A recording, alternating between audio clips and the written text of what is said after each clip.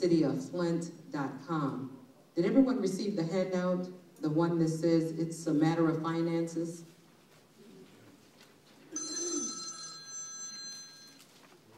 On the backside of that handout is contact information for the emergency manager. There's also some answers to some frequently asked questions.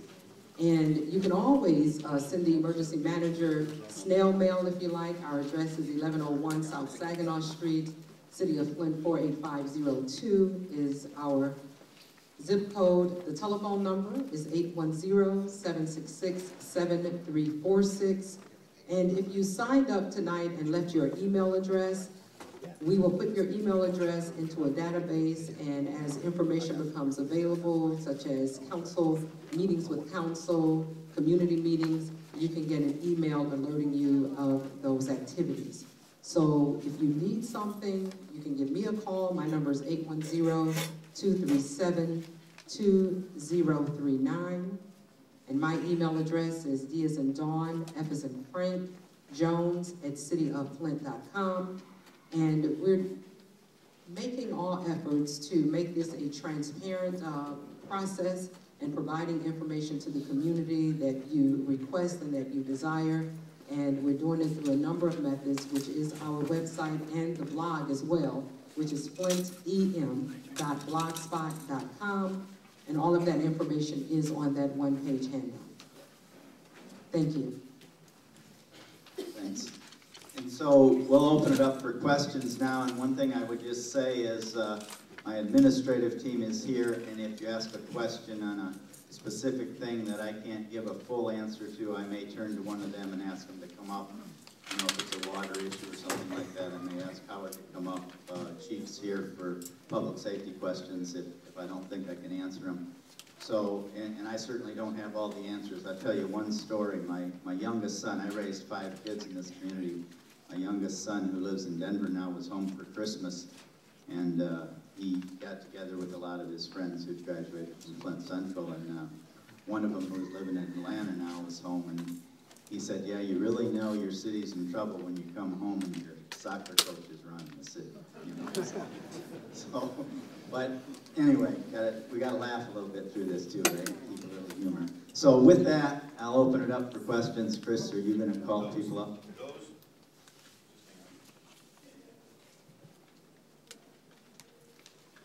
If you have a question, would you please come down? We have a microphone, hopefully it does work, so everyone can hear the question. You have a podium down here. There we go. Anyone with a question, come up, please come down here. Brown, Mr. Brown, I was uh, just curious why you were thinking about privatizing uh, water and sewer uh, uh, department, because I thought that they were uh, feasible for the city, making some money. I, I don't know what else got going. I was curious about that. Uh, Actually, that's one of the areas that has been in deficit, uh, but uh, what I would say is we haven't made any decisions, but what I said from the beginning is everything is on the table. I think we have to assess what the best way to move forward is, you know, not only in water, but in a lot of services that the city delivers. And in all cases, it might not be privatization, it could be cooperation with other units of government. So we're just gonna look at the options and then make the best decision in terms of efficiency and effectiveness for delivery of service.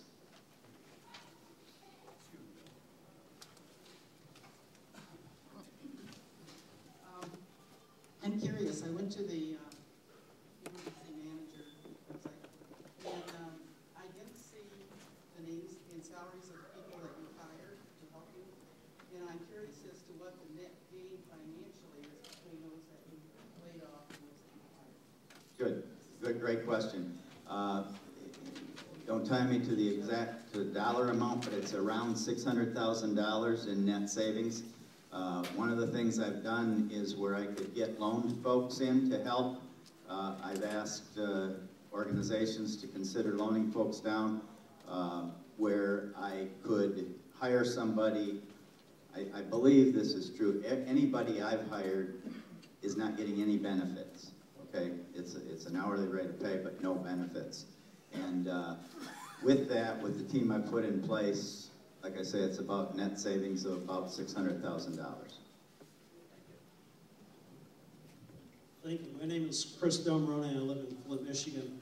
Um, yeah, I, I appreciate the fact that the public had come to address you. I, think it might even be required that, you know, these types of meetings.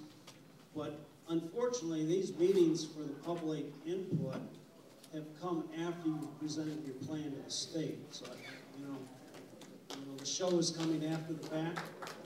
Um, Your advisory committee uh, I'll point out, I'm sure you know, and the public sh- should need to know, must know, that, you know, you were part of the chamber here in Flint, Michigan, Genesee County Regional Chamber of Commerce.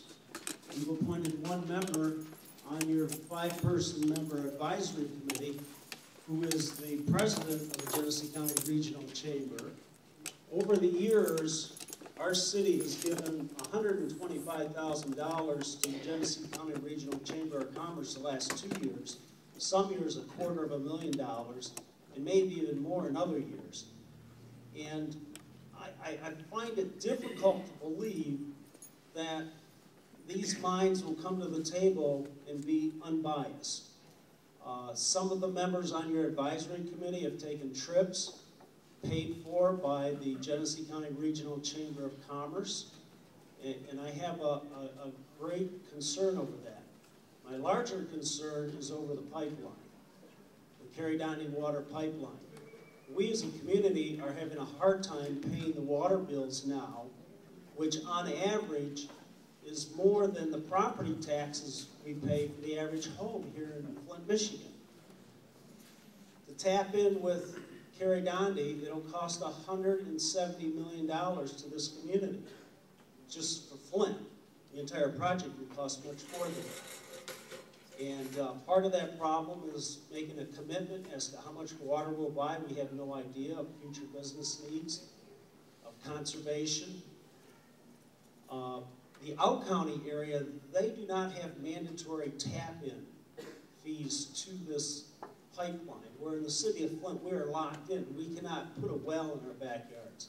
So if you could address some of those, the, the public comment coming after your plan has been introduced. Let me, let me take that one first, Kristen. I'll try to get, let's get through about four of these because we do have a line of people here. Thank you. But on the public comment, here, here's what I would say about that is, I didn't have to create those advisory committees. I had to create one five-member committee. Actually, it only had to be three. I made it a five-member committee. But I had 50 citizens involved in the process to uh, help put the plan together. And I've been in government uh, for 30 years around here. I've been in the nonprofit sector and government. And I would say uh, with proposals, with projects, with things that we've sent to state or federal government, when you have 50 citizens involved, that matches anything I've seen in, in that I've been involved in in government. So again, nothing's perfect, but I did try to reach out to make sure we had citizen involvement in the process before we submitted the plan. So that's that one. On the chamber, uh, the I, I was on board at the chamber for about eight weeks back in 08, okay? And then, uh, as luck would have it or not, I became temporary mayor. And then I went to work for Prima Civitas Foundation in uh, Lansing, and we created this Flint Area Reinvestment Office. So uh, the, the thing I would say about the chamber when I mentioned the 2,000 jobs, the chamber is the entity in our county that is focusing on economic development. And, you know, while our uh, allotment or allocation to them has been significant in the past, you mentioned it might have been as high as $250,000. I think it's down around 45,000 dollars now. So it has gone down, but their work is really helping improving the job situation in this community. So I don't apologize for working with the chamber. The other thing is, is in my contract, I had to have a member of the business community. And Tim Herman, representing the chamber, you know, with all the businesses, uh, not only throughout Flint, but throughout the county that are involved in the chamber, I just thought he was a, a, a good business representative because of the membership of the chamber. Let me get to the uh, Karegnondi, which would be the fourth one, okay? And uh, what I could say with that is we have not made a decision on Karegnondi. We are assessing that. uh, And uh, what I would say, even going back to when I was uh, temporary mayor, is that project, I think, is a great project for our region. It's a great project for the county. I think it will bring, uh, for the first time in a long time, probably 40 years, uh, water back into this community that we control, that, you know, and I, I, I'm, I expect there will be questions tonight about people's water bills.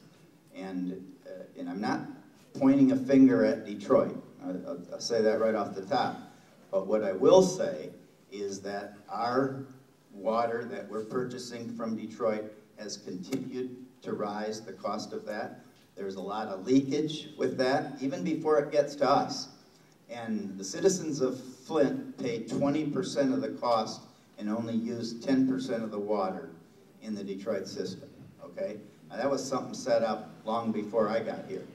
So for us to look at control of our own water, how we pay for that in the future, and when we look at job creation in our region, you know, to me, one of the things that's gonna bring Michigan back is water.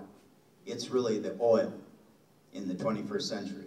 It's just as vital. So should we try to set up in our community where we control that cost and have that water available for businesses that, as they want to come into this community? I think it's critical that we do it. Now, the devil's always in the details, and that's what we have to do is really assess how do we position the city of Flint in the best way possible to either support the Karegnondi project or do something differently. I can get into more detail on that as we go forward uh, with other meetings too, and I will. What I would say is that we will, we have not made any decision to privatize water. Uh, We are looking at all the options. If I got into putting everything on the ballot that we made, need to make decisions on, we would get nowhere, and we don't have much time. So uh, what I can tell you is I will talk about this publicly. Uh, I'll communicate through TV, radio, newspaper, and meetings like this to let you know just the kinds of questions we're asking, the answers to those, and then I'll put it before the public and, best decision I can. Thanks. I'm worried about the vandalism uh, on uh, foreclosed homes. You know, uh, What, is there a program or is there something that I don't know about as a citizen pertaining to all these foreclosed houses and uh, these scrap yards, you know, stuff in? Is there something gonna be done about it? Well, uh, again, you're raising a key public safety issue in the community. I think, um, uh, I've asked Chief Lock to put together a plan and working with the state police to improve our public safety presence in the community. Uh, It's all the more reason that we need to get a hold, get a, a hold of our finances properly because we cannot hire the number of police officers we need. But I do think this has to be part of a whole plan. I can't solve that problem overnight. I know it's an issue, uh, and it's a critical issue in the